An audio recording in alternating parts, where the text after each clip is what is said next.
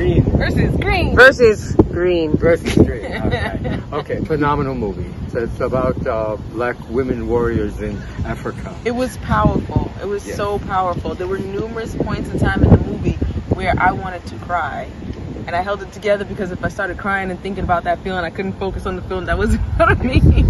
But you, you felt like one of the characters. You loved every single character. And there was only one time in the movie I felt like crying, and that was toward, No, toward the end. lies.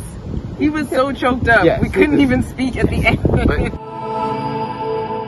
so beautifully it. done. It is Okay. beautiful. What I really liked about it was that no matter if you're you're a black woman, if you're a white woman, if you're a black man, if you're a white man, if you're Latin American, no matter who you are, you feel connected to the film and you feel it. from- Oh, here we go. You feel connected to the film, and you feel as though you're one of the characters in the film. You're rooting for them the entire time. So when certain things happen, it's like pulling your heart, and it makes you feel A lot of powerful feelings about my Why you got black women. Wakanda forever? This is not Oh, Black no. Panther. Different film, different film. I give it uh, five stars. Uh, five stars. If I had, Yes. if we could do six out of five, We can only do five. it's Okay, awesome. So good. You have to see it. so I'm uh, gonna see it again, probably three times. Yeah, we'll, we'll see as soon as we get home.